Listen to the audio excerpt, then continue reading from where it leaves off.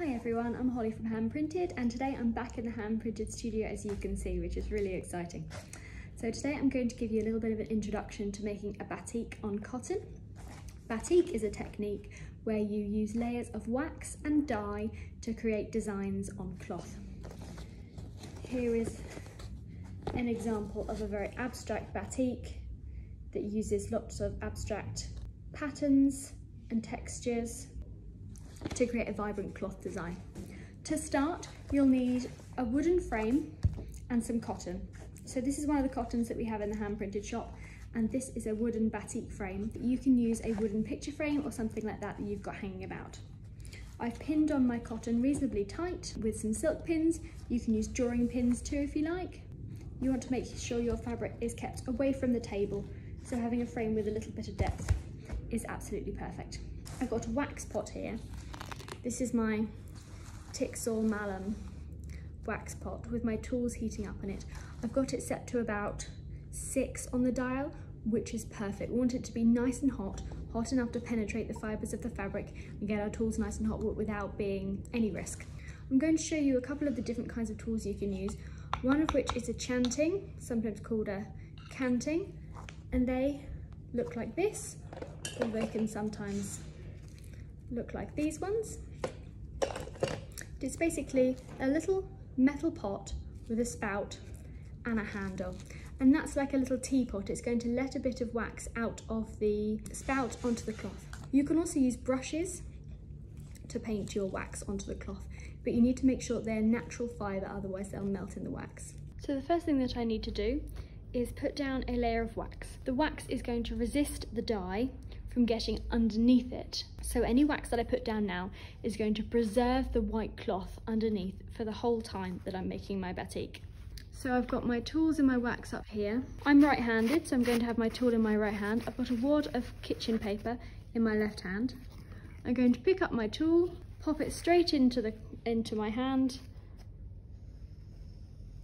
Be careful because it's really hot. And I'm just going to run the tool around the edge, just creating a little border.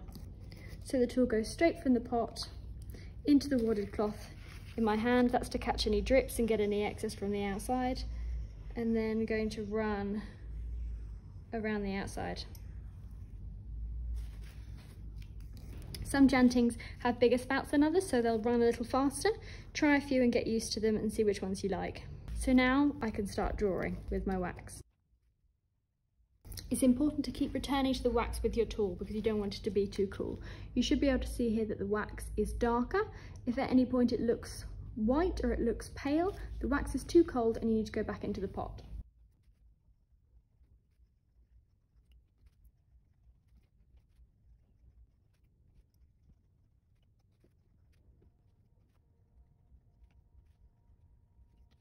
Now the first layer of my wax is dry, it's ready to dye. The wax will cool very quickly on the fabric and so you'll be able to dye straight away. Here I've got my materials ready for dyeing.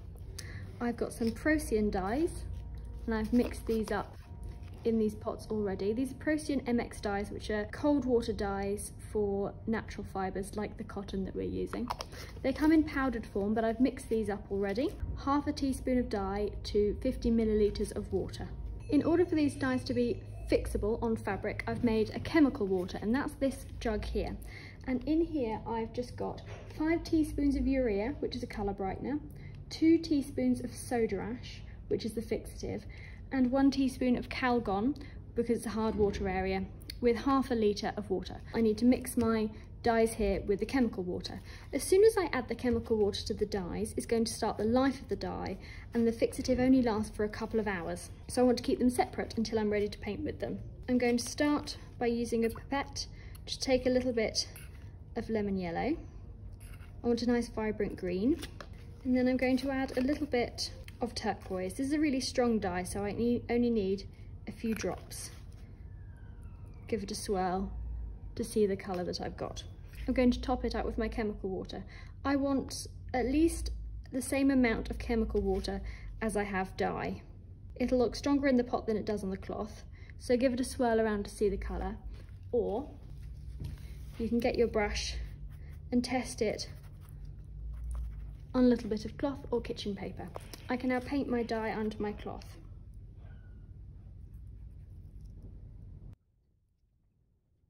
You shouldn't need to go all the way to the edge with your dye. Let the dye spread on its own to reach the wax edges.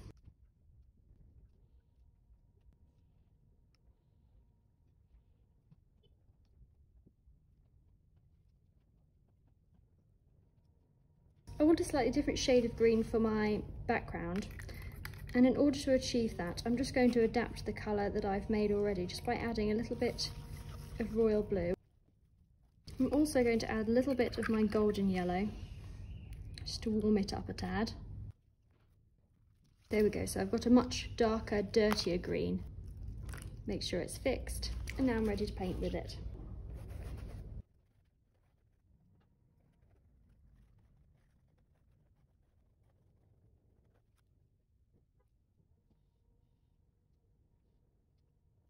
I've got my first layer of wax and my first layer of dye down. Before I do any more layers, I need this, dry, this layer to dry completely.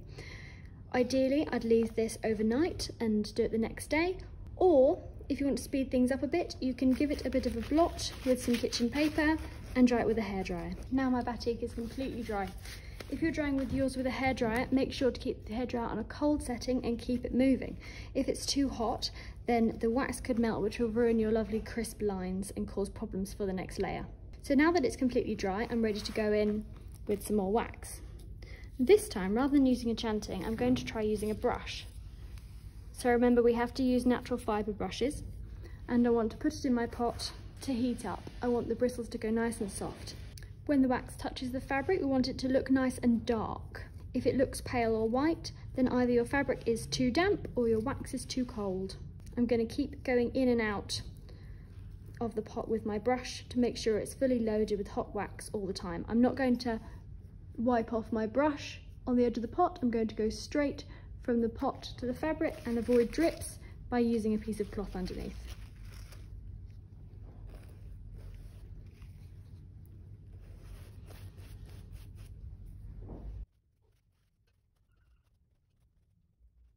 You can get some really lovely brushstroke marks this way and keep it really loose and expressive. You can also try all kinds of different wax application techniques and have a lot of fun with it. One of the things I like to do is to do some splashes with the wax. Be careful though, as the wax is very, very hot. This wax is going to preserve the colour underneath it. So anywhere that's covered in wax can't take any more dye, so it's going to stay these original colours. Any wax I put on over the top can only get to the fibres that are still open. As you can see, I've started with quite pale colours, and it's a good idea when making a batik in layers to start off with pale colours and work to stronger, darker colours. This batik's just going to be two layers, so I've started with some paler greens and I'm going with going with a nice strong colour now. I know that that strong colour is going to be strong enough to cover over these colours in the background. It's also going to make all those colours pop. You need to think about the colours you're layering over the top of one another as the colours are translucent, so whatever's underneath is going to show through. For example, if I went in with a pink now, the green is going to show through, they'll mix and make a brown. I'm going to use this royal blue for my next colour. So this is my dye powder just mixed with water. And this is my chemical water, same as before. So I've got a nice, strong dark blue here. I'm going to paint this colour over my whole design and I don't need to worry about going over all my leaves because the wax is going to preserve the colour underneath. So there we have it. I've got my first waxing was these white lines and my border. The first dye colour filled the leaves in with this bright green and the background in with this slightly earthier green.